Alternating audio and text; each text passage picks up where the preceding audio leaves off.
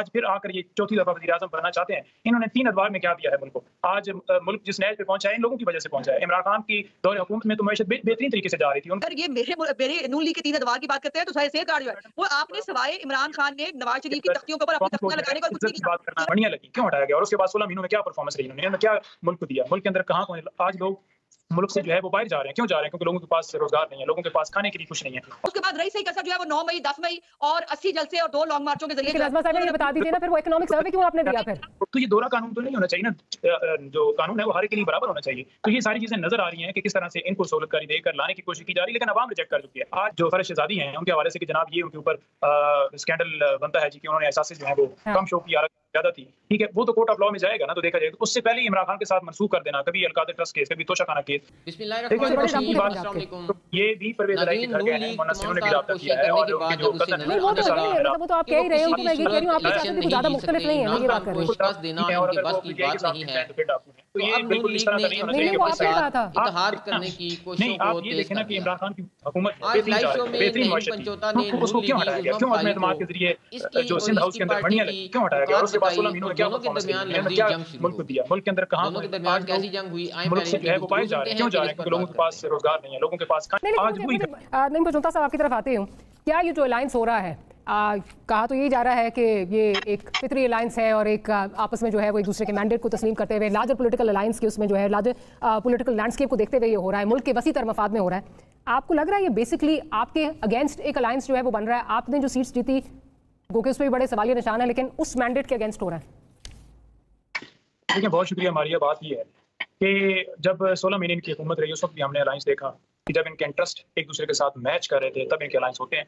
Otherwise इन्होंने एक दूसरे को सारी ज़िंदगी गालियाँ निकाली, एक दूसरे के ऊपर करप्शन की बातें की। जो ही इन्होंने देखा कि वायद इमरान खान जो पूरी दुनिया के सामने डट गया और इज़्ज़त की बात करता है, गैरत की बात करता है एब्सोल्युटली नॉट की बात करता है तो इन सबने सर जोड़ लिया कि ये तो हमें छोड़ने वाला नहीं है।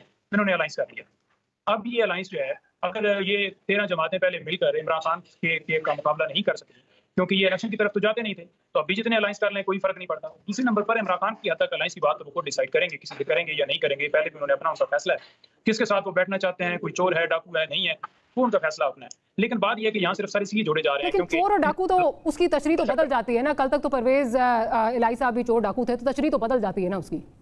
लेकिन बड़े डाकू थे पंजाब के तो ये भी परवेज इलाई के घर गए हैं मोना ने भी किया है और उनके जो कज़न है नहीं वो तो है मतलब वो तो आप कह ही रहे हैं उनको मैं ये कह रही हूँ आपकी सियासत भी कुछ ज़्यादा मुख्तलिफ़ नहीं है मैं ये बात कर रही हूँ। और अगर वो पीटीआई के साथ मिल जाए तो फिर डाकू है। तो ये बिल्कुल इस तरह का नहीं होना चाहिए आपने कहा था। आप नहीं आप ये देखें ना कि इमरान खान की हुकूमत है बेहतरीन जा रही थी बेहतरीन मैशत थी। उनको उसको क्यों हटाया गया? क्यों अदम अतमाद के ज़रिए जो सिंध हाउस के अंदर मणियाँ लगी क्यों हटाया गया? और उसके बाद सोलह महीनों में क्या परफॉर्मेंस रही उन्होंने क्या मुल्क को दिया? मुल्क के अंदर कहाँ आज लोग मुल्क से जो है वो बाहर जा रहे हैं। क्यों जा रहे हैं? क्योंकि लोगों के पास रोज़गार नहीं है, लोगों के पास खाने के लिए कुछ नहीं है। और आज फिर आकर ये चौथी दफ़ा वजी आज़म बनना चाहते हैं। इन्होंने तीन अदवार में क्या दिया है मुल्क को? आज मुल्क जिस नैज पे पहुँचा है, इन लोगों की वजह से पहुँचा है। इमरान खान की दौरे हुकूमत में तो मैशत बेहतरीन तरीके से जा रही थी। उन्होंने तो पनागाहें बनाई हेल्थ कार्ड बनाए। कोई एक बताया ना मोटरवे की ये बात करते हैं। तो मोटरवे क्या इन्होंने घर के पैसे से जो है इन्होंने मोटरवे बनाई है। तो बात यह है कि कोई अपना लायामल तो देना। जलसे के अंदर इतने अरसे के बाद आ रहे हैं और कहते हैं कि मैं छब्बीस साल जो है मैंने उसमें से सोलह साल में मुल्क से बाहर रहा सोलह साल क्यों है आपने कोई ऐसा काम किया तो मुल्क से बाहर है और जलसे के ऊपर खड़े होकर आप कोई तकरीर कर रहे हैं तो कोई अपना मैंडेट देना सवाए इमरान खान की तस्वीर के ऊपर बात करने के या पीटीआई के जलसे के अंदर जो है औरतें नाचती हैं इनके पास कोई और बात थी? इन्होंने कोई राय अमल दिया अजमा साहब रिस्पॉन्ड करना चाह रही हैं। जी अजमा साहब जी।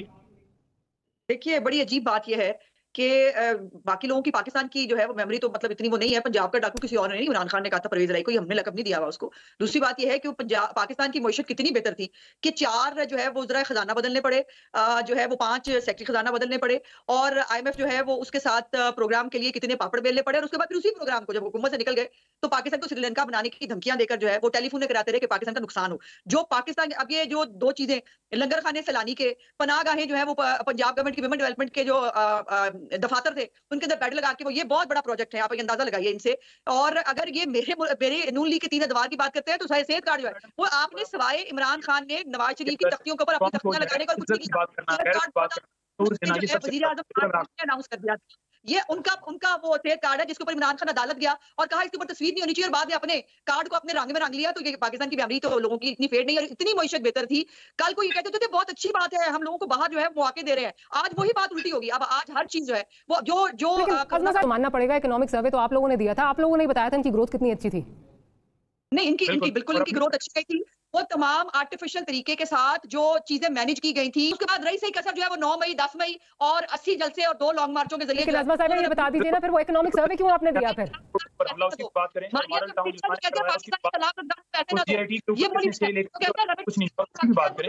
और मुंबई हमलों की भी बात करें अजमा साहिबा लेकिन ये अगर किसी की बात में बात नहीं करती और जो है मेरी बात के अंदर जो है जब आप दो बंदे बात करते हैं स्काइप के ऊपर आपकी बात नहीं जा सकती। अच्छा मैं तो मैं माजरत मैं माजरत करती हूँ आपसे लेकिन आपसे ये पूछना चाह रही हूँ कि वो इकोनॉमिक सर्वे फिर आपने क्यों दिया जिसमें आपने ग्रोथ दिखाई कि पीटीआई के हर सेक्टर में ग्रोथ किस तरह हो रही थी वो भी तो आपने ही दिया था ना? ऐसा बिल्कुल नहीं है ऐसा बिल्कुल नहीं है। ये जो अगर ये ग्रोथ ऐसे हो रही थी ना तो फिर वो कहीं नज़र भी आनी चाहिए थी। इमरान खान और उसके खुद के मुद्रा कहते होते थे? हम लोगों में नहीं जा सकते।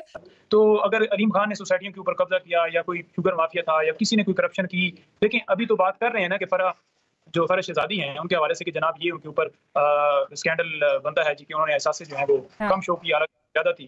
ठीक है वो तो कोर्ट ऑफ़ लॉ में जाएगा ना तो देखा जाएगा। उससे पहले ही इमरान खान के साथ मनसूख कर देना कभी अलकादर ट्रस्ट केस कभी तोशा खाना केस आज वही कि हम ये नहीं कह रहे कि वो गैर मुतलका हो गई हम ये कह रहे हैं कि अगर उनकी दोस्त हैं और उनके अगर एसेट्स उन्होंने गलत बताए हैं तो वो अपनी उसकी जस्टिफिकेशन देंगी। उसका मतलब ये तो नहीं है कि अगर उनके एसेट्स जो है वो सही नहीं बताती तो उसका ऊपर इल्ज़ाम जो है इमरान खान के ऊपर आएगा। है कभी क्वेटा के अंदर कतल होता है और यही लोग कहते हैं कि हमने कोई सियासी इंतकामी कार्रवाई नहीं रही राना सनौला जिसने ये साइफर केस बनाया उसके नीचे जो इंटीरियर सेक्रेटरी जो है वो था जो कंप्लेनेंट बना और यही राना सनौला जिसकी कहने के ऊपर और तारण के ऊपर वहाँ पर मुकदमा दर्ज हुआ तीन सौ दो का और ये सारे केसेस इनके कहने के ऊपर दर्ज हुए हैं दफ़ा एक सौ चौतालीस की खिलाफ वर्जी सिर्फ़ इमरान खान के लिए क्या इनके लिए नहीं है पीपल्स पार्टी के लिए नहीं है दूसरी जमातों के लिए नहीं है। जब इमरान खान तारीख के ऊपर आते हैं लोग उनके साथ होते हैं तो वो गुनाह है। अगर नवाज़ शरीफ उनके साथ सपोर्टर आकर चीफ जस्टिस हाई कोर्ट के कमरे के अंदर जाकर वो नारे मारते हैं तो वो बिल्कुल ठीक है। तो ये दोहरा कानून तो नहीं होना चाहिए ना?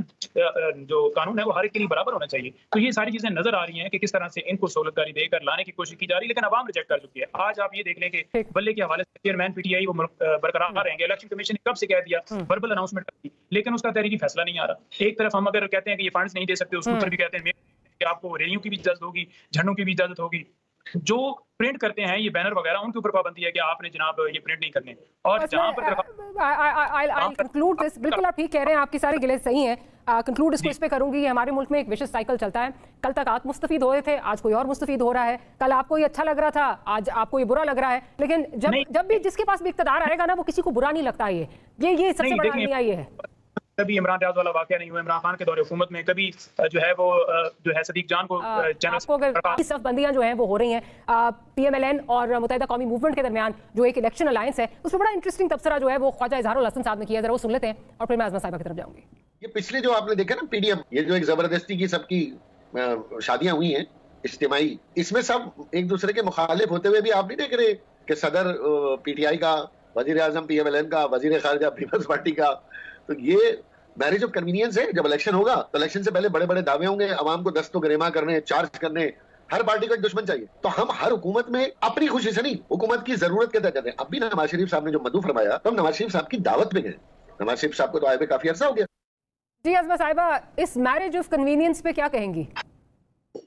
देखिए पहले तो मैं एक दो बातें ज़रूर पहले वाली करना चाहती हूँ कि जो लोग जुडिशियल कॉम्प्लेक्स पे जो है वो हमला करें जो वारंट जब उनको दिखाने के लिए जाए कानून नाफिज करने वाले इदारे वो पेट्रोल पंप से हमला कर दें।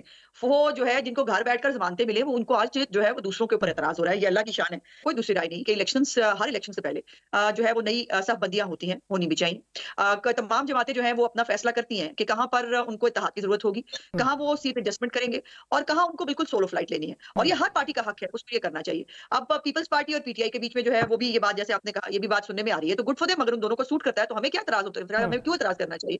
और एमक्यू की जहाँ तक बात है एमक्यूएम एक रियलिटी है। आ, किसी को अच्छी लगे या ना लगे। एमक्यूएम का एक का वोट बैंक है। कल तक जो पंजाब का डाकू था आ, जिसको इमरान खान ने अपने साथ जो है वो नहीं बिठाना था जो पंजाब लूट के खा गया था वो फिर जो है वो पहले स्पीकर रहा और उसके बारे में भी फिर वो स्पीकर कह रहा था नैपियाँ चेंज करते हैं और नहीं चेंज हो रही हैं और एक दूसरे पे जो है वो इल्ज़ाम लगाए इमरान खान तो है बेसिकली सियासतदान ये वैसे एक फसाड बनाते हैं जिस तरह ख्वाजा साहब कह रहे हैं आपस में लड़ाने के लिए अवाम के सामने कोई अपना दुश्मन खड़ा करने के लिए बेसिक बेसिक बात ये। बिल्कुल हमारी हमारी पार्टी की बहुत क्लियर पॉलिसी है। देखिए अभी आप देख रहे हैं कि फायर्स हो रहे हैं पीपल्स पार्टी की तरफ़ से।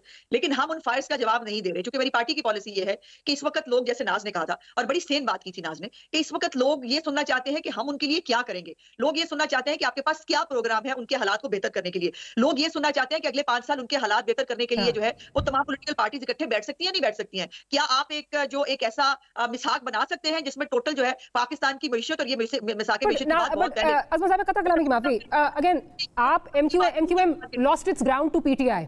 उसमें आप उनको किस तरह जो है वो दोबारा वो रीगेन करने में जो है वो हेल्प कर सकते हैं। माजद के साथ ये प्री इलेक्शन नहीं, ये पोस्ट इलेक्शन सिनारियो लग रहा है कि एक अंडरस्टैंडिंग हो गई है कि किस तरह जो है वो पीटीआई को कटेल करना है और उसके नतीजे में किसको क्या मिलेगा। नहीं, देखिए, ऐसा नहीं है। एक तो ये है कि अगर आप एक मुतफिका कैंडिडेट दें तो ज़ाहिर उससे फ़ायदा होता है, उससे नुकसान तो नहीं होता और उसमें कोई बुराई भी नहीं है। लेकिन ये बात जो आप कह रही हो कि वो जगह पीटीआई को कैसे मिली थी, आपको याद है? मारिया आपने सब देखा हुआ है आपको पता है वो आरटीएस बिठा के मुस्तरद वोट जो है वो होते थे हज़ार दो हज़ार और जो है वो वोट जीतने वाले जो है वो उसका मार्जिन होता था छह सौ कुछ वोट। तो ये हुआ है ना कराची के अंदर दो हज़ार अठारह में? दो हज़ार अठारह में कोई इलेक्शन जो है वो आपको लगता है बड़े साफ़ शफाफ इलेक्शन हुए थे जिसके ऊपर जो मैंडेट जिसको मिला मेरा मेरा एमक्यूएम का बिल्कुल वोट बैंक है। उसमें अब आपके अगर देखा जाए ट्रैक रिकॉर्ड देखा जाए तो सिंध से आप तो ऑलमोस्ट जो है वो वाइप आउट ऑलमोस्ट या वाइप आउट हो गए पिछले इलेक्शन में और उससे पिछले इलेक्शन में आपने कुछ सीटें ली। Again what can you give MQM ऐसा ऐसा बिल्कुल नहीं है। हालाँकि बलदियाती इलेक्शन जो है उसमें बहुत सारे सवाल उठे हैं हम्म। सिंध के अंदर। उसके बावजूद सिंध में हमने अपने अपना बलदियाती शेयर जो है वो लिया है। हमारे हमारे चेयरमैन जो है वो मुंतखब हुए हैं। और ये ये और हमने जो है वो मेयर कराची जो है उनको वोट दिया था। हमने उनके साथ सियासी तहत किया था। मुर्तजा वहाब को हमने वोट दिए थे। सो ऐसा नहीं है कि हम ये बात दुरुस्त है कि हम सिंध को उतना फोकस नहीं कर सके। लेकिन अब अगर हम फोकस करना चाहते हैं तहत बनाना चाहते हैं उसमें कोई मज़ाक नहीं। देखिए डॉक्टर मारिया एक बात तो मैं पहले ही वाजे कर दूँ कि पाकिस्तान पीपल्स पार्टी का पीटीआई के साथ ना कोई रबता है ना कोई इतिहाद की सोच है। तो पहले तो इस बात को मैं एक साइड पे कर दूँ बता दूँ वाजे कर दूँ। दूसरी बात ये रही कि एमकेएम की बात एमकेएम कराची शहर कल अगर बदल गया तो फिर आपको यही सुनाया जाएगा और पूछा जाएगा। इसलिए कह दें आप तक। नहीं मैं तो आपको मैं तो आपको एज ऑफ़ टुडे जो बात बता रही हूँ और ये हकीकत है कि हमारा कोई अलायंस नहीं ना कोई हमारी सोच है ना हमारा कोई रहा है। तो ये जो सर्कुलेट कर रही है बातें मेरे ख्याल है क्या सारा यहाँ बेहतर है कि ना की जाए ऐसी। अच्छा दूसरी बात ये बात एम की हो रही है क्योंकि मेरा अपना ताल्लुक कराची शहर से है मैं कराची से इलेक्शन भी लड़ती आई हूँ तो मैं कराची शहर के डायनामिक्स को समझती हूँ। कराची शहर में जो हमारे डिस्ट्रिक्ट हैं अगर आप डिस्ट्रिक्ट वाइज डिवीज़न देखें तो वहाँ पे पाकिस्तान पीपल्स पार्टी ने over a period of time बहुत गेन किया है। और ये गेन हमने किस तरह किया? हमने वहाँ पे लोकल लेवल पर डिस्ट्रिक्ट लेवल पर यूसी लेवल के ऊपर आवाम के साथ मिलकर, आवाम के मसाइल हल करके वहाँ पे सेहत के शोबे में, स्कूल के शोबे में डेवलपमेंट इंफ्रास्ट्रक्चर जितना काम किया है हम्म। उसकी बुनियाद के ऊपर अवाम ने हमें वोट किया और mayor Karachi Pakistan Peoples Party का ज्याला जो है वो कामयाब हुआ। तो ये मैं समझती हूँ कि ये हमारी बहुत बड़ी एक फतेह और जहाँ तक हम्म। आप बात करें एमकेएम की तो एमकेएम तो कराची से बाहर जो है शायद ही कोई हैदराबाद तक एक आध सीट कहीं मुश्किल से हो और उसके बाद तो एमकेएम खत्म हो जाती है। किया है लेकिन अब कराची वो कराची नहीं है। अब कराची में एक ज्याला मेयर है। कराची में लोगों की खिदमत हो रही है कराची में रोड बन रहे हैं सड़कें बन रही है पीने का पानी मिल रहा है लोगों को एक दहशत और खौफ की फिजा नहीं है। तो अब कराची के लोग कराची को कितना डिलीवर कर पाते हैं that remains to be seen वो तो बेंचमार्क बैलेट बॉक्स ही होगा। फ़िलहाल तो जो ट्रांसपोर्ट सिस्टम है वो भी वफाक से आता है आप लोग वो भी नहीं कर सकते। जी। जी। जी जी नहीं नहीं मैं आपको नहीं पिंक बसेस हमने पिंक बसेस हमने पिंक बसेस कराची में जो है वो शुरू कराए जो कि कराची के लोग उससे बहुत ज़्यादा खुश हैं स्पेशली खवातीन। और उसके अलावा आप डॉक्टर मारिया मुझे बताइए कि पाकिस्तान पीपल्स पार्टी के साथ तो बड़ी नाइंसाफी हुई। हम्म। हमारे साथ तो लियारी की जीती हुई हमारी नशस्त जो है वो रातों रात तब्दील कर दी गई दो हज़ार बैलेट बॉक्स जो है वो बेंचमार्क होगा फ़िलहाल लग नहीं रहा वैक्यूम जो है वो आप उस तरह फिल कर पाए हैं नईम पंचोता साहब ने बिल्कुल ठीक कहा कि 40 साल से नून लीग सियासत कर रही है, इस मुल्क को इन्होंने क्या दिया है? उल्टा ये मुल्क को लूट कर लंदन फरार हो जाते हैं। इनके पिछले 16 माह को अभी अवाम भूली नहीं कि फिर से नवाज़ शरीफ के साथ डील करके इसे इकतदार में लाने की कोशिशें की जा रही हैं। मगर अवाम अब नवाज़ शरीफ को रिजेक्ट कर चुकी है, क्योंकि सारे का सारा वोट इमरान खान का है और अवाम इमरान खान के साथ खड़ी है। नाजरीन, आपका इस बारे में क्या कहना है? अपनी राय का इजहार कमेंट बॉक्स में ज़रूर करें। नेक्स्ट वीडियो तक मुझे दें इजाज़त। अल्लाह हाफिज़।